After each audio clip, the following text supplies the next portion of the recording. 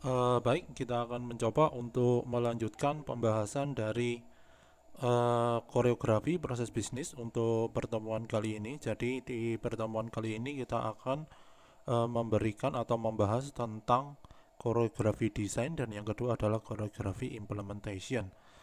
Di dalam koreografi desain sendiri kita akan bagi menjadi beberapa topik pembahasan. Untuk topik yang pertama adalah Uh, kita akan membahas tentang aktivitas-aktivitas dalam fase desain pada sebuah koreografi proses bisnis dan yang kedua kita akan mencoba untuk melihat aturan compatibility pada fase desain di dalam koreografi proses bisnis. Nah, di dalam aktivitas-aktivitas dalam fase desain ini kita akan dihadapkan pada beberapa level abstraksi atau level model yang harus ada ketika kita akan melakukan desain di dalam koreografi. Sedangkan untuk aturan compatibility, compatibility sendiri tujuannya adalah untuk melihat apakah ada keselarasan antara orkestrasi yang terjadi di tiap-tiap partisipan ketika dilakukan koreografi. Oke, uh, jadi selamat mengikuti, semoga bermanfaat.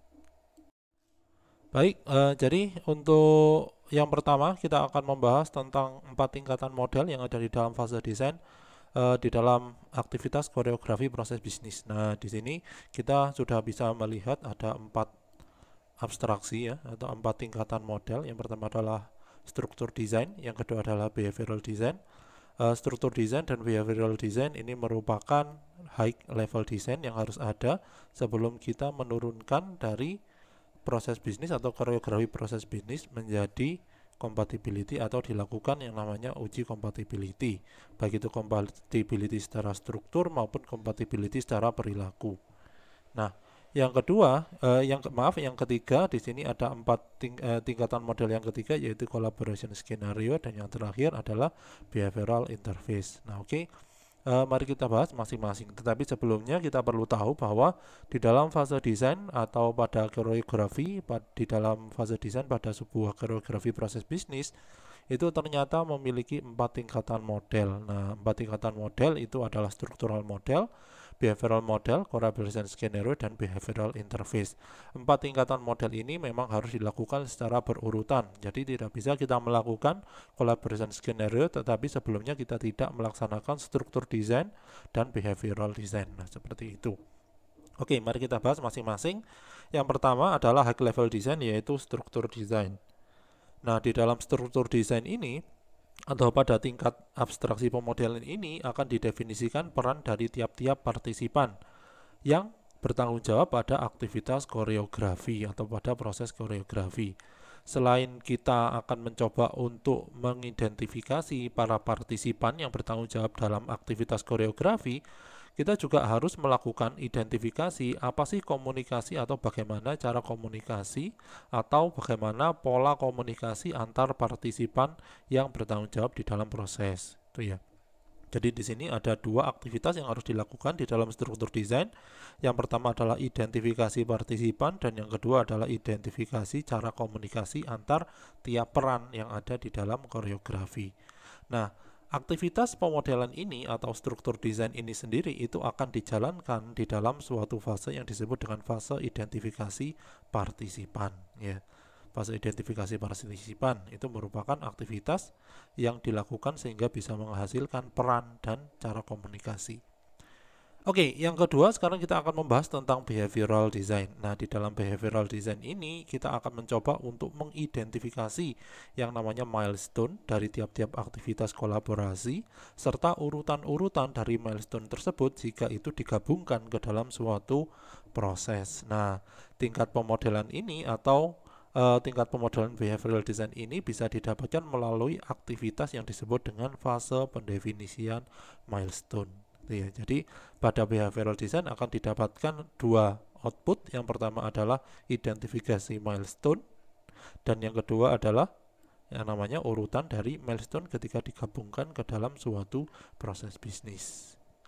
Nah, setelah kita melakukan identifikasi partisipan, identifikasi cara komunikasi antar peran yang ada di dalam partisipan, identifikasi milestone dan identifikasi urutan milestone. Selanjutnya kita akan mencoba untuk membuat skenario kolaborasi.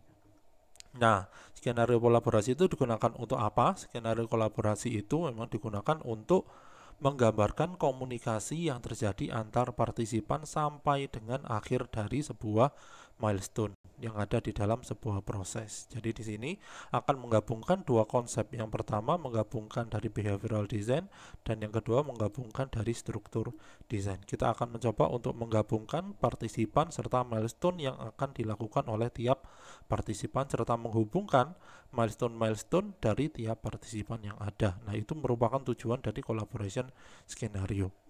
Nah, pada tingkatan model ini dilakukan penggabungan antara high level struktur desain ya, sudah kita jelaskan tadi atau sudah kita bahas tadi dengan high level behavioral design. Dengan memodelkannya, jadi outputnya adalah suatu model untuk collaboration skenario ini ke dalam suatu bentuk yang disebut dengan collaboration skenario atau skenario kolaborasi. Nanti kita akan mencoba untuk melihat dan membahas apa sih yang dimaksud atau model dari skenario kolaborasi itu seperti apa.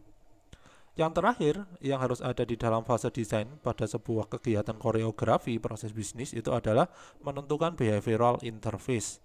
Nah, perlu kita pahami terlebih dahulu bahwa di dalam collaboration skenario untuk tiap peran e, dari sebuah partisipan, maka behavioral interface itu akan menggambarkan titik komunikasi yang bisa terjadi antara satu partisipan dengan partisipan yang lain. Jadi di dalam behavioral interface itu akan didefinisikan kira-kira satu peran itu proses bisnis yang ada di dalamnya secara detail seperti apa. Setelah itu akan diidentifikasi uh, kegiatan atau kolaborasi yang terjadi antara proses bisnis di satu partisipan itu seperti apa dengan partisipan yang lain. Nah, oke, okay, jadi itu merupakan empat tingkatan model yang harus ada di dalam fase desain pada sebuah kegiatan koreografi proses bisnis. Oke, kita lanjutkan untuk pembahasannya. Jadi di sini kita akan membahas terlebih dahulu high level design. High level design tadi ada dua kegiatan. Yang pertama adalah uh, menentukan behavioral design dan yang kedua adalah menentukan struktur design. Nah, di sini kita sudah bisa melihat uh, contoh dari struktur ya. Ini merupakan struktur model. Ini merupakan hasil dari struktur desain yaitu pengidentifikasian uh, partisipan dan juga keterkaitan antar partisipan itu ya yang ada di dalam struktural model. Uh, itu yang ada di dalam struktural model dan yang kedua kita bisa melihat di sini diagram yang ada dan dihasilkan dari behavioral model. Di dalam behavioral model diidentifikasikan yang namanya milestone. Ini merupakan milestone ya ini milestone. Ini milestone pertama ini merupakan milestone yang kedua ya. Sampai dilakukan milestone yang keempat ini empat ini milestone yang ketiga. Ya milestone-nya ada empat.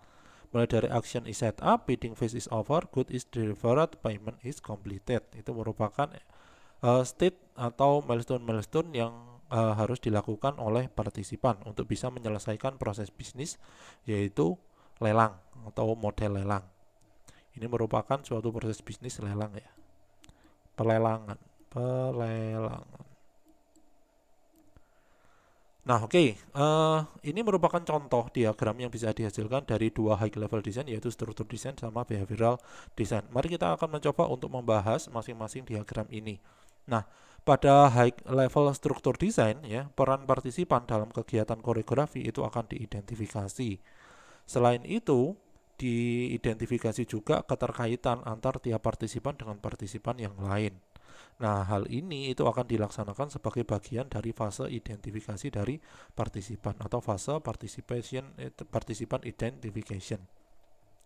Nah, selain itu di dalam high level design juga dilakukan yang namanya behavioral design. Di dalam behavioral design kita juga mengetahui dari pembahasan yang sebelumnya sudah kita lakukan bahwa di sini diidentifikasi milestone dari tiap-tiap partisipan. Milestone itu adalah suatu aktivitas atau suatu kondisi yang dirasa penting bagi seorang partisipan untuk dimasukkan ke dalam suatu proses bisnis. Itu yang disebut dengan suatu milestone. Biasanya direpresentasikan ke dalam suatu kondisi atau suatu state.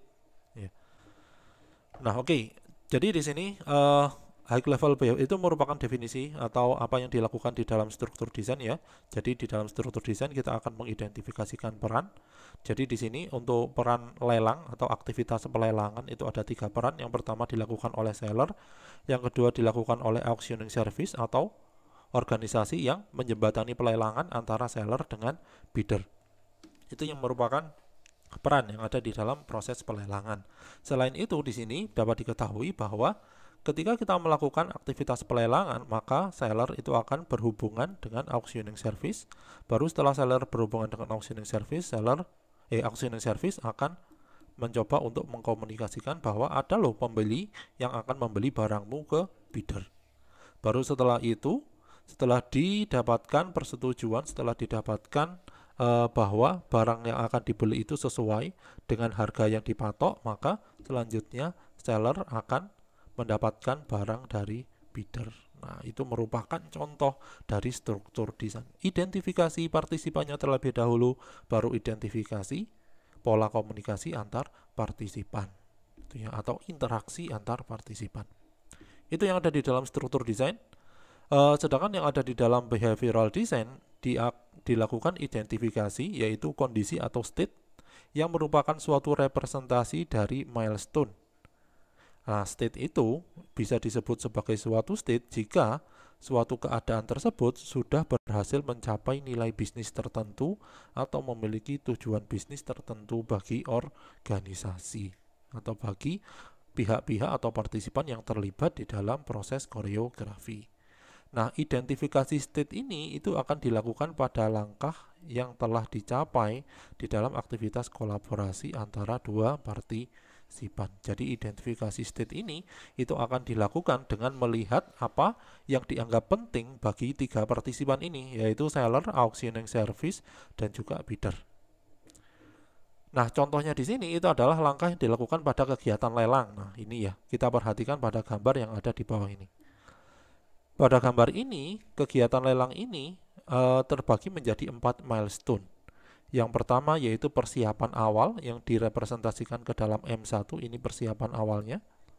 Yang kedua adalah masuknya calon penawar ya, masuknya calon penawar yang akan melakukan penawaran ya. Terus yang ketiga adalah proses bidding ya, proses bidding juga masuk ke dalam M2. Yang keempat itu adalah pengiriman barang dan pembayaran yang direpresentasikan ke dalam M3 dan M4. Nah, sekarang ketika kita membuat suatu behavioral design maka kita harus mencoba untuk melihat suatu skenario yang mana behavioral design itu tidak atau mengalami permasalahan. Jadi selain kita akan mencoba untuk melihat bahwa behavioral model ini dilakukan pada skenario yang berhasil, maka kita juga harus memikirkan skenario gagal ketika terjadi suatu proses bisnis. Maka di sini kita bisa lihat bagaimana identifikasi dari suatu proses dan pemodelan dari proses yang gagal di dalam kegiatan pemodelan behavioral design. Di sini uh, milestone-nya tetap ya ada 5 milestone, ada 4 milestone, itu milestone 1, milestone 2, milestone 3 dan milestone 4, tetapi di sini karena ada kegagalan maka ditambahkan ada milestone yang kelima. Nah, di sini berarti kita memiliki suatu kesimpulan bahwa ketika kita membuat suatu behavioral design, maka kita harus memikirkan skenario berhasil, ini skenario berhasil, dan jika skenario itu gagal. Nah, oke, okay, jadi itu merupakan pembahasan dari high level design yang terdiri dari struktur desain dan yang kedua adalah dari behavior design. Oke, okay, sekarang kita masuk ke uh, kegiatan yang ketiga di dalam fase desain pada aktivitas koreografi proses bisnis yang disebut dengan collaboration skenario ya. Jadi ini model yang akan kita buat e, model yang ketiga yang harus kita buat ketika kita melakukan fase desain di dalam koreografi mm, maaf proses bisnis. Nah, di dalam collaboration skenario ini atau pada fase ini interaksi antara partisipan itu akan dimodelkan untuk dapat menggambarkan proses yang terjadi mulai dari awal milestone ya. Ini merupakan milestone awal sampai dengan akhir milestone. Ini merupakan milestone yang akhir atau milestone yang ke-5. Tuh. Nah, interaksi antar partisipan itu akan menjadi dasar di dalam pembangunan skenario kolaborasi. Ya. Jadi, interaksi ini itu akan digunakan sebagai acuan di dalam kita melakukan skenario kolaborasi atau pelaksanaan juga pelaksanaan penentuan kompatibilitas yang ada di antara dua partisipan atau dua proses pada partisipan. Nah, di sini ada panduan yang bisa kita gitu bahwa skenario atau kolaborasi skenario atau skenario kolaborasi itu harus dibuat dengan singkat. Karena apa? Karena ketika dibuat dengan singkat, maka itu akan mudah untuk dipahami atau tidak kompleks untuk dipahami sehingga tiap partisipan akan lebih mudah untuk diminta persetujuan terhadap skenario kolaborasi ini itu ya. Yang kedua di sini sebagai panduan yaitu interoperabilitas antar data juga perlu untuk dimodelkan sehingga model data harus disertakan karena apa? Karena kemungkinan besar tiap aktivitas pengiriman message atau pengiriman pesan atau kolaborasi antara seller sebagai partisipan yang pertama dan auctioning service sebagai partisipan yang kedua itu akan melibatkan suatu data. Sehingga antara kolaborasi antara P1 dan P2 ini harus ada kegiatan untuk pengiriman data. Sehingga di sini perlu untuk ada pemodelan data. Dengan menggunakan apa? Kita bisa menggunakan ERD atau Entity Relationship Diagram Nah, itu tentang uh, fase yang ketiga atau model yang ketiga yang perlu untuk kita buat di dalam fase desain pada koreografi. Sedangkan untuk model yang keempat yaitu behavioral interface. Ya, ini merupakan model yang ketiga. Ini yang merupakan model atau behavioral interface merupakan model yang keempat. Nah, di dalam behavioral interface, tiap collaboration scenario yang dibuat itu diharuskan untuk didetailkan apa yang harus didetailkan? Yang harus didetailkan adalah proses yang terjadi di salah satu partisipan. Ya, proses yang terjadi di salah satu partisipan itu harus didetailkan. Nah, kalau misalkan kita lihat pada gambar yang ada di bawah, yaitu behavioral interface for seller di sini, kita lihat dari sudut pandang seller bahwa seller itu ternyata melakukan kegiatan ada beberapa kegiatan, setidaknya ada dua kegiatan. Yang pertama adalah submit auction dan yang kedua adalah send registration info. Nah, ini harus kita detailkan. Nah, selain kita detailkan untuk tiap-tiap uh, proses yang ada di dalam satu partisipan, kita juga harus melihat atau mengidentifikasikan bagaimana kegiatan komunikasi yang terjadi antara si partisipan yang sudah kita detailkan tadi dengan partisipan yang lain. Nah, di sini bisa kita modelkan dengan menggunakan dua konsep pemodelan bisnis proses. Yang pertama adalah private business process dan yang kedua adalah public business process pemodelan ketika kita lakukan pendetailan untuk salah satu partisipan, berarti ini itu merupakan suatu model yang disebut dengan private business process. Sedangkan yang ada di bawah yang kita abaikan ya, diabaikan untuk tidak kita detailkan untuk proses yang terjadi di dalam partisipan lain itu kita gambarkan ke dalam bentuk public business proses. Nah, itu merupakan kegiatan yang ada di dalam collaboration scenario dan behavioral interface. Kita review lagi di dalam collaboration scenario, kita buat skenario-skenario komunikasi antar dua partisipan. Di sini partisipan satu adalah seller, partisipan yang kedua adalah auctioning service. Selain itu, kita juga harus buat yang namanya model data yang menjadi acuan bagi komunikasi antara dua partisipan ini, baik itu dari seller maupun auction service. Setelah kita buat collaboration skenario-nya yang tentunya dibuat dengan sederhana dan tidak kompleks, maka selanjutnya kita ubah atau kita detailkan proses yang terjadi di tiap-tiap partisipan. Jadi di sini kita akan memandang dari dua sudut pandang baik itu dari sudut pandang seller maupun dari sudut pandang auctioning service. Sekarang kita lihat di gambar atau diagram yang ada di slide. Di situ kita lihat dari sudut pandang seller terlebih dahulu. Jadi seller di sini memiliki dua aktivitas. Yang pertama adalah submit auction request dan yang kedua adalah send registration info. Nah, di dalam behavioral interface maka kita akan mencoba untuk mendetailkan salah satu partisipan saja. Ya. Salah satu partisipan saja di dalam partisipan seller di sini kita akan detailkan proses yang terjadi yang dilakukan oleh seller serta komunikasi yang terjadi antara seller dengan auctioning service. Ketika kita lakukan pendetailan dari satu partisipan, maka partisipan yang akan kita detailkan itu akan kita modelkan ke dalam bentuk private business process, sedangkan partisipan lain yang kita abaikan pendetailannya itu akan kita bentuk atau kita modelkan ke dalam bentuk public business proses. Nah, itu merupakan aktivitas yang ada di dalam collaboration scenario dan behavioral interface. Oke, sekarang kita akan mencoba untuk membahas langkah selanjutnya yang harus dilakukan di dalam fase desain, yaitu menentukan compatibility. Setelah kita mendapatkan behavioral interface atau model yang merepresentasikan behavioral interface, selanjutnya kita akan mencoba untuk mengecek kompatibilitas antara behavioral interface yang terjadi di tiap-tiap partisipan. Partisipan, ah, partisipan. Nah, di sini akan kita coba untuk bahas satu persatu. Ya, jadi compatibility atau pengecekan kompatibilitas itu memiliki atau ada dua jenis kompatibilitas. Yang pertama adalah structural compatibility dan yang kedua adalah behavioral compatibility. Ini mari kita pihak, mari kita bahas masing-masing compatibility atau jenis compatibility ini. Yang pertama yaitu kolaborasi antara proses bisnis yang ada di dalam tiap partisipan perlu untuk dipastikan ya, perlu kita pastikan agar bisa berjalan secara selaras. Jangan sampai terjadi seperti yang contoh di awal pembahasan koreografi yaitu terjadi deadlock antara dua partisipan itu ya sehingga harus selaras hal ini merupakan tujuan dari aktivitas compatibility pada koreografi proses bisnis jadi di sini compatibility memang digunakan agar uh, proses yang terjadi antar partisipan atau komunikasi atau kolaborasi yang terjadi antara partisipan itu terjadi secara selaras nah apa sih yang dimaksud dengan compatibility itu sendiri? Compatibility sendiri itu merupakan kemampuan dari tiap partisipan untuk dapat berinteraksi secara baik dengan partisipan yang lain.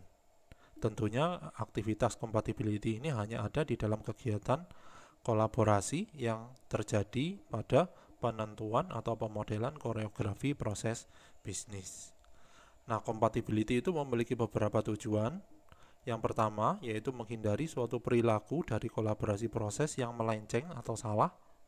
Ya, kita ingat kasus deadlock ya yang terjadi pada awal kita membahas tentang fase atau kegiatan koreografi atau pada materi koreografi yang pertama. Nah, fase deadlock ini bisa jadi atau bisa terjadi karena adanya interaksi yang tidak tepat antara proses bisnis yang ada di dalam tiap-tiap partisipan ya sehingga ketika berkomunikasi maka terjadi yang namanya suatu deadlock jadi di sini kita harus selaraskan antara proses bisnis yang terjadi di dalam organisasi atau terjadi di antara partisipan eh maaf uh, kita selaraskan proses bisnis yang ada di dalam tiap-tiap partisipan dan kita coba untuk hubungkan antara atau komunikasikan proses bisnis yang terjadi di tiap-tiap partisipan tersebut kalau misalkan dilakukan secara selaras, berarti kita sudah mencapai tujuan dari compatibility. Oke, jadi ada dua jenis compatibility. Yang pertama adalah behavioral dan yang kedua adalah struktural. Mari kita bahas uh, struktural compatibility terlebih dahulu. Nah, ada dua jenis structural compatibility. Yang pertama adalah strong structural compatibility dan yang kedua adalah weak structural compatibility. Nah, disebut sebagai strong structural compatibility itu jika apa kita bahas di sini ya ini pembahasannya jika terjadi alur komunikasi yang diwakili oleh notasi message ini merupakan notasi message ya ini merupakan notasi message message yang diwakili oleh notasi message terjadi secara dua arah yang artinya dapat diamati siapa partisipan yang mengirim dan menerima message tersebut. Nah, Oke, kita lihat dari diagram yang ada di depan bahwa terjadi komunikasi antara bidder antara auctioning service dan juga antara seller. Nah, aktivitas komunikasi itu diwakili oleh notasi yang disebut dengan message. Ini ya message. Di sini bidder mengirimkan participation request atau memberikan message berupa participation request yang isinya participation request ke auctioning service. Auctioning service menerima participation request, selanjutnya akan dikirimkan atau diteruskan ke seller. Setelah itu, si seller itu akan melihat apakah si bidder ini layak untuk ikut ke dalam lelang. Selanjutnya dilakukan pengiriman yang namanya auctioning service ke seller lagi yaitu acceptance of recommendation. Atau dia itu bisa memilih rejection atau bisa mengaccept atau menerima rekomendasi dari bidder, rekomendasi auctioning service terhadap bidder atau dia itu bisa reject atau menolak. Selanjutnya si seller bisa menerima atau menolak penerimaan dan penolakan ini akan bisa diteruskan dari auctioning service melalui auctioning service ke bidder. Nah, itu merupakan compatibility yang strong structural compatibility yang berjenis strong structural compatibility. Karena apa? Karena kita tahu siapa penerima dari suatu pesan, siapa pengirim dari suatu pesan tertentu. Nah, oke. Okay. Jadi paham ya apa yang dimaksud dengan strong structural compatibility. Yang kedua, kita akan bahas tentang weak structural compatibility. Atau structural compatibility itu dikatakan lemah jika pesan yang dikirim itu dapat diterima oleh partisipan yang lain. Oke, kita bahas atau kita lihat pada diagram yang ada di bawah. Uh, jika pesan yang dikirim dapat diterima, oke. Jadi di sini kita tahu siapa penerimanya. Untuk penerimaan participation request itu ada seller. Untuk penerimaan acceptance maupun rejection itu ada auctioning service. Kita tahu siapa penerimanya. Namun pesan yang diterima tidak dapat diketahui. Biasanya ada yang tidak dapat diketahui siapa partisipan yang mengirim. Jadi di sini kita tidak tahu siapa pengirimnya. Ada beberapa pesan yang kita tidak tahu siapa pengirimnya.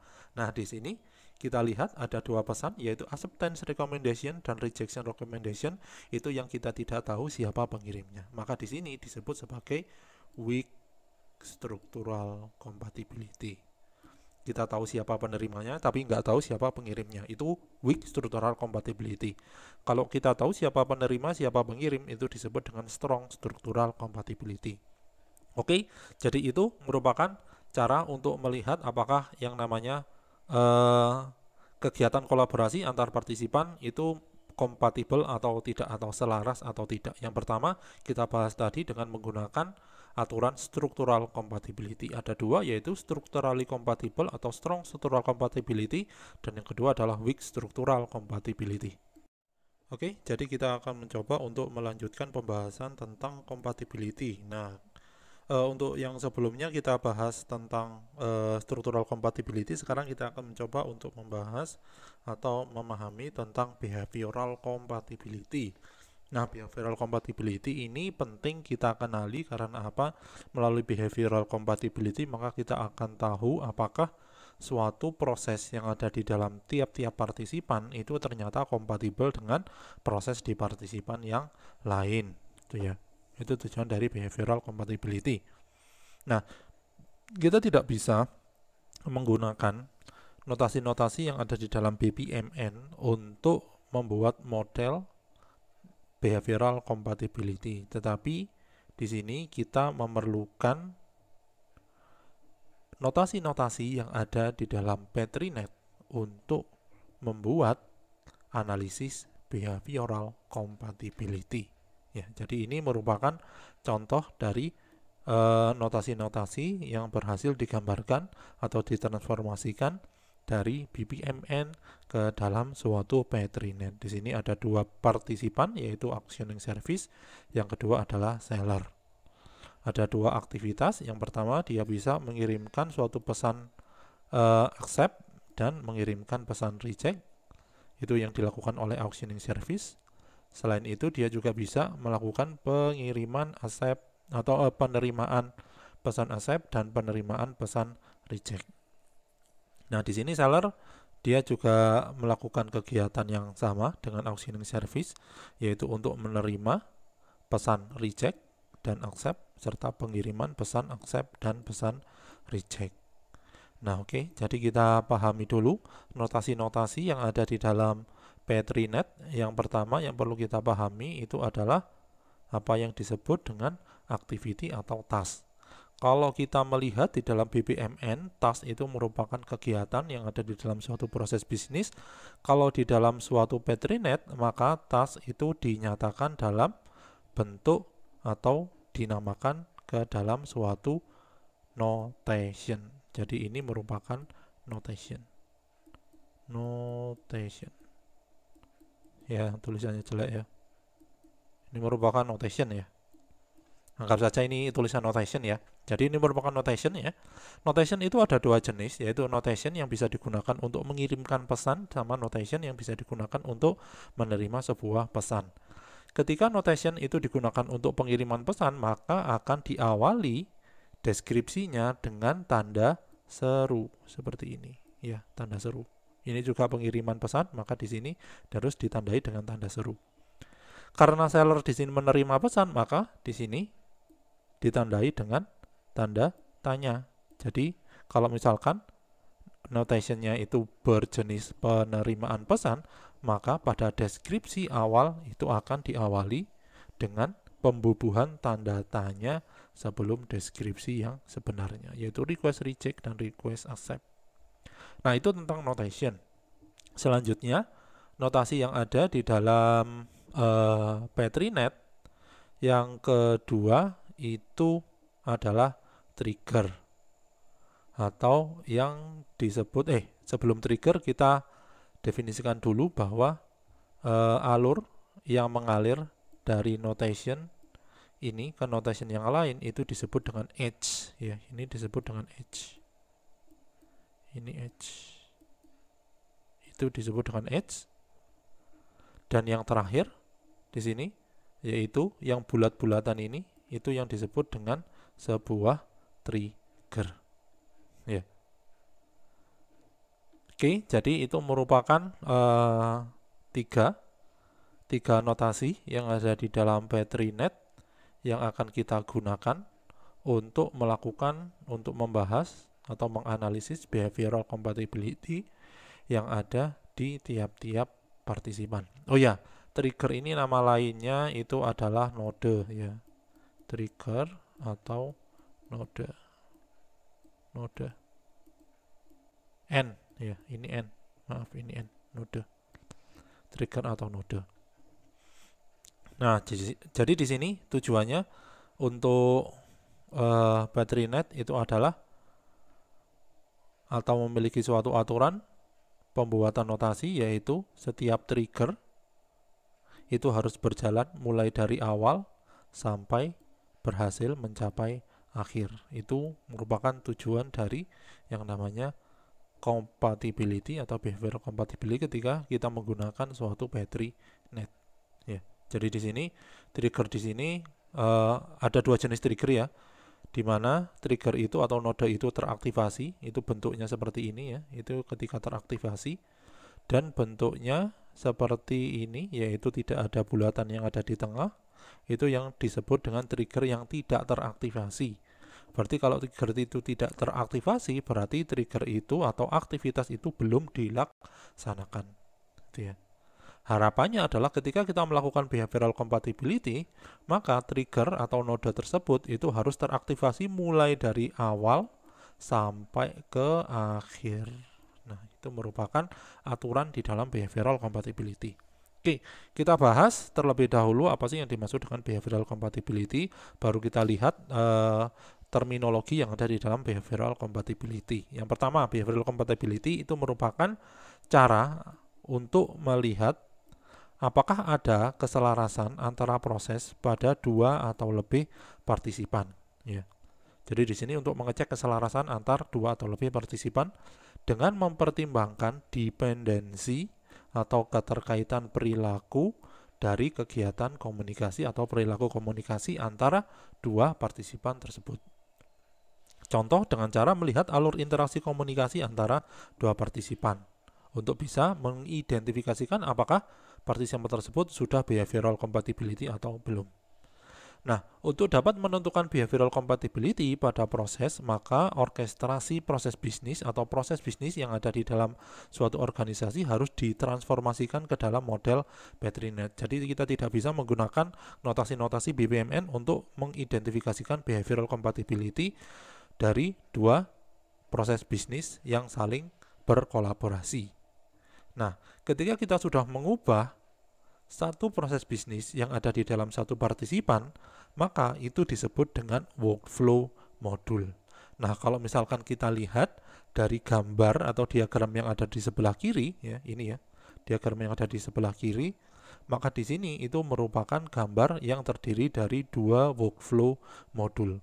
Workflow modul yang pertama itu dilakukan oleh auctioning service, workflow modul yang kedua dilakukan oleh seller. Ya, ini ya merupakan contoh dari dua workflow modul. Workflow modul yang pertama menggambarkan aktivitas yang dilakukan oleh auctioning service 1. Workflow yang kedua menggambarkan kegiatan dari seller. Nah, baru ketika kita menggabungkan atau menginteraksikan antar workflow modul sehingga terjadi komunikasi antara tiap partisipan di dalam workflow modul, maka itu baru bisa disebut sebagai suatu workflow nets ya. Jadi di sini kita bisa mengidentifikasikan perbedaan antara workflow modul dan workflow net. Kalau misalkan ternyata node-node yang ada di partisipan ini belum terkoneksi, maka ini disebut sebagai workflow modul. Ketika ini sudah terkoneksi, maka itu akan disebut sebagai workflow nets. Nah, kalau diperhatikan pada gambar di samping, token RA atau node RA atau trigger RA ini ya, trigger RA yang digunakan untuk mengirimkan pesan dari transition request accept ke request uh, accept yang ada di seller. Itu ternyata tidak menyentuh token RA yang ada di seller sehingga ini disebut sebagai dua workflow modul bukan sebagai satu kesatuan yaitu workflow net. Nah, jadi ini mungkin salah ya untuk definisinya ya bahwa di sini bukan merupakan workflow net tetapi masih berupa workflow modul. Nah, untuk selanjutnya kita akan mencoba untuk melihat bagaimana behavioral compatibility itu akan dilaksanakan. Oke, kita akan melanjutkan pembahasan tentang behavioral compatibility. Nah, kalau misalkan kita lihat dari diagram yang ada di sebelah kanan, nah baru ini yang disebut dengan workflow nets ya. Kenapa disebut dengan workflow net? Karena node yang ada di antara auctioning service dan seller itu sudah diinteraksikan menjadi satu seperti pada bentuk RA, node RR, SA, dan SR. Nah, ini merupakan contoh dari workflow nets. Nah, bagaimana cara pelaksanaan behavioral compatibility?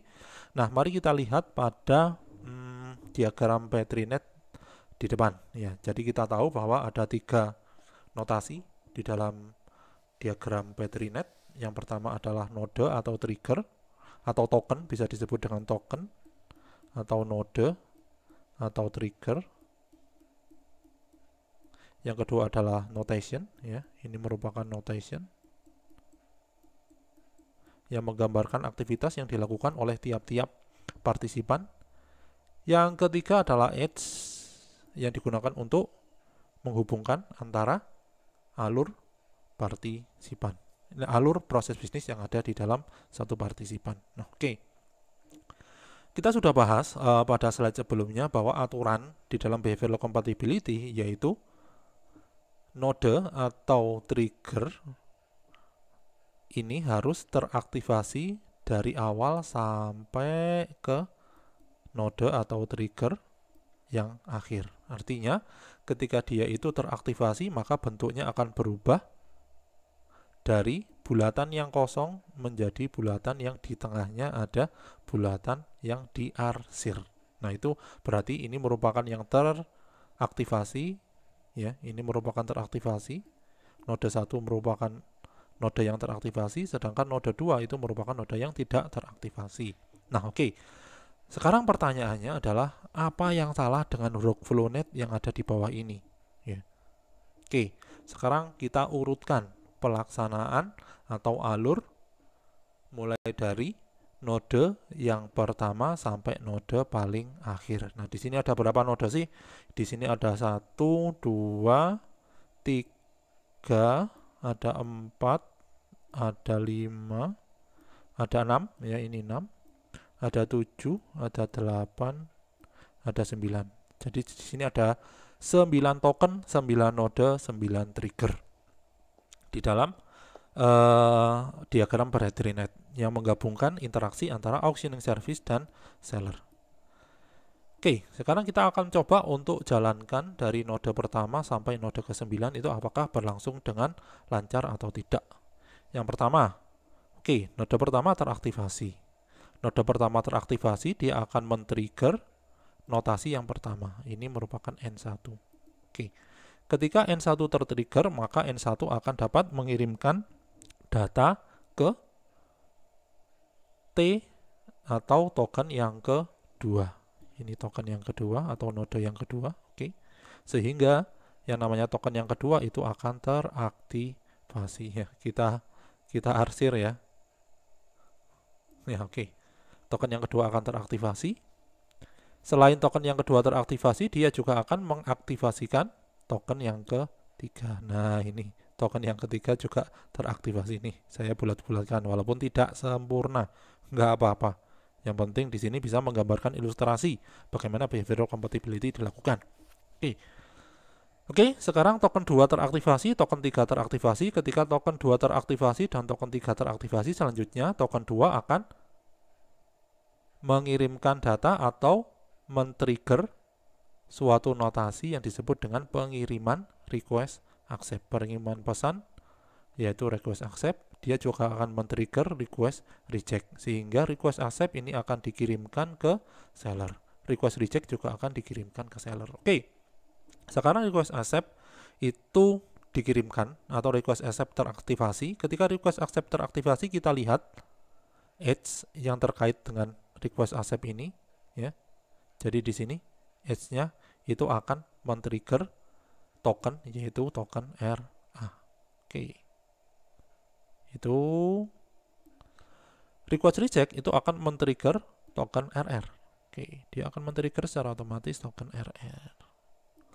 Ketika token RA dan token RR teraktivasi, maka selanjutnya bersamaan dengan token 3, token RA itu akan menjalankan request accept atau penerimaan request accept, penerimaan pesan yang dilakukan oleh seller dari auctioning service. Selanjutnya di sini dengan menggabungkan token RR dan token 3 yang sudah teraktivasi, maka di sini notation request reject itu juga akan teraktivasi atau akan dijalankan. Jadi aktivitas ini akan berjalan. Oke, sekarang apa kelanjutannya?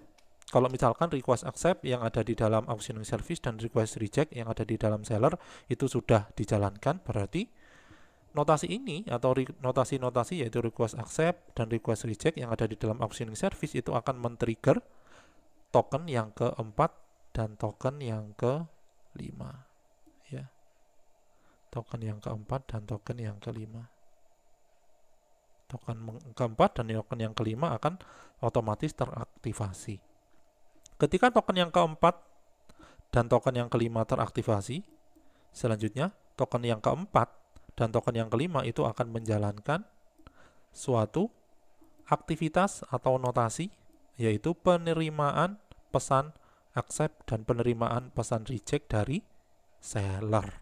Oke. Okay.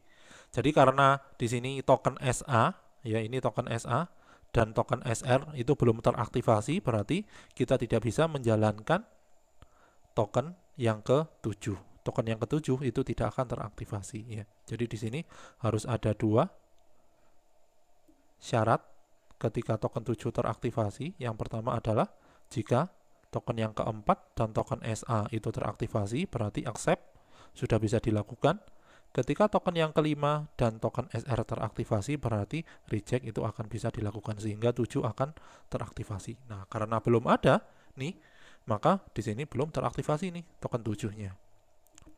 Oke, kita lanjutkan dari sisi yang seller. Dari sisi seller di sini dilanjutkan uh, dia sudah menerima pesan uh, reject dan pesan accept dari auctioning service sehingga di sini token 6 itu akan teraktivasi. Oke, di sini token 6 teraktivasi. Saya tandai dengan bulatan.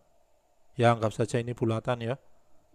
Selanjutnya setelah trigger atau token ini teraktivasi, maka dia akan melanjutkan untuk mengeksekusi notasi yaitu request atau pengiriman notasi reject dan pengiriman notasi accept. Ke siapa? Ke auctioning service tentunya cautioning service tentunya. Oke. Nah, sekarang apa yang terjadi di sini? Yang terjadi adalah ketika notasi yaitu notasi reject dan notasi accept itu sudah teraktivasi atau sudah dijalankan berarti secara otomatis token SA itu akan teraktivasi ya. Begitu juga dengan token SR itu juga akan teraktivasi. Nah, oke. Okay.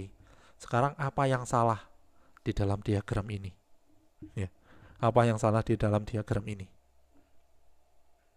Yang pertama adalah di sini